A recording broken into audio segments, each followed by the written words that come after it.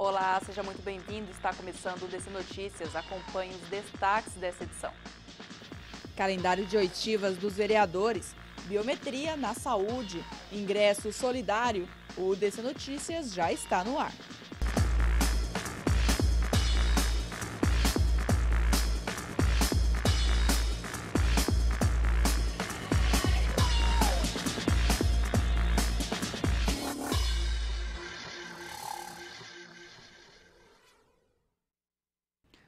Vereadores acusados durante a Operação Pecúlio estão passando pela fase de depoimentos do Conselho de Ética. Em entrevista com nossa equipe, o vereador Celino Fertrim explica como funcionará o calendário de oitivas e também como isso será passado para a população. O Conselho de Ética da Câmara Municipal de Foz do Iguaçu iniciou nesta semana a fase de oitivas dos vereadores presos na quinta fase da Operação Pecúlio. Em entrevista, o vereador Celino Fertrim, do PDT, explica como foi o primeiro dia dos trabalhos. É, foi montado um calendário onde nós ouvimos ontem as testemunhas de acusação, na sequência as testemunhas de defesa da vereadora Anice, e demos oportunidade para ela, numa ampla defesa, para que pudesse também fazer as suas considerações de forma espontânea, a qual ela se declinou, né, em função do, do horário já estendido, mas também se colocou à disposição que no final das oitivas de todas as defesas, ela também gostaria de falar e nós estaremos ouvindo a todos aqueles que, que se pronunciarão, né, dentro da condição de que é, não colocaram algo que faltou de repente na escrita da defesa, nós estamos dando ampla defesa a cada denunciado para que faça a manifestação de forma espontânea e não questionada.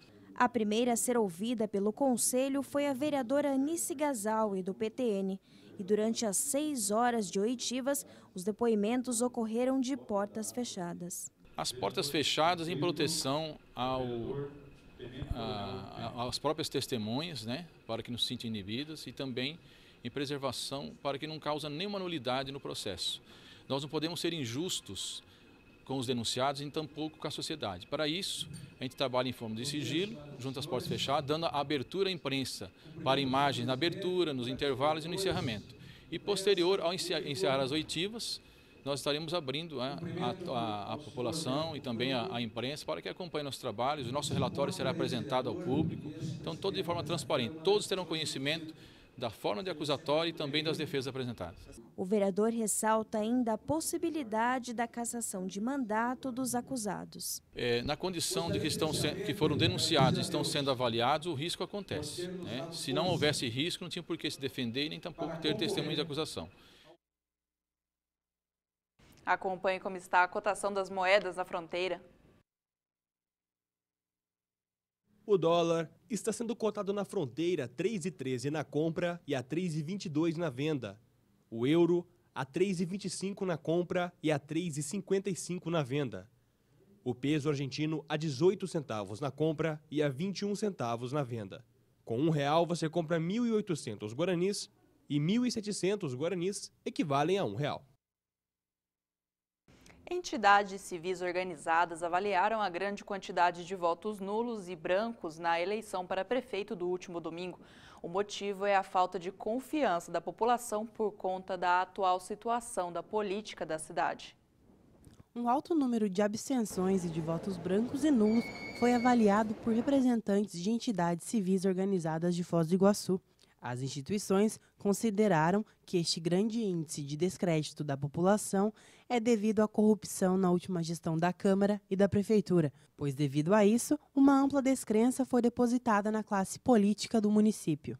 De um total de aproximadamente 165 mil eleitores, foram registrados mais de 42 mil abstenções e votos brancos e nulos nessa última eleição para prefeito e vice-prefeito. Este número, comparado com os dados obtidos em outubro do ano de 2016, teve um grande desparelhamento e uma elevação notória, com uma diferença de quase 16 mil votos. Segundo o presidente do Observatório Social de Foz do Iguaçu, Juliano Bíssigo, a participação do eleitor é fundamental na hora de eleger o seu representante. Porém, com tantas notícias negativas, fica cada vez mais difícil para o eleitor escolher para quem irá seu voto. Essas entidades garantem que em breve a pauta de reivindicações será apresentada ao novo prefeito, porém, no momento, aguardam o retorno esperado da Câmara de Vereadores. O afastamento dos vereadores acusados pela Operação Pecúlio melhorou o ambiente do Legislativo para o atual prefeito eleito, Chico Brasileiro. O deputado Chico Brasileiro do PSD assumirá no dia 24 o cargo de prefeito de Foz do Iguaçu. Com cinco vereadores reeleitos afastados por conta da Operação Pecúlio e contando com a frente de 11 partidos, Chico terá um melhor ambiente político para comandar a cidade até 2020. Entre os 15 vereadores e suplentes, oito fazem parte da coligação Foz Levada a Sério, formada pelo PSD, PCdoB, PRTB, PTB, PP, PEN, SD, PRP, PMN e DEM.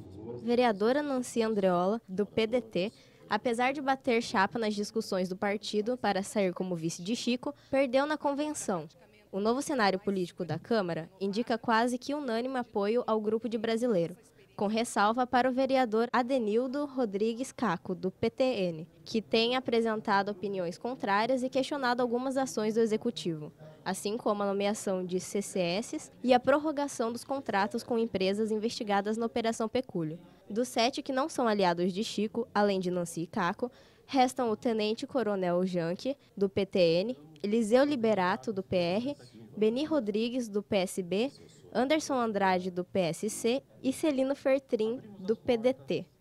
Vale lembrar, porém, que Eliseu e Celino são os secretários que formam, juntamente com Chico, a composição chamada de União pela Cidade. Esse novo panorama político está mais tranquilo para o desenvolvimento de projetos com a melhor governabilidade possível. A seguir, acompanhamento biométrico na saúde.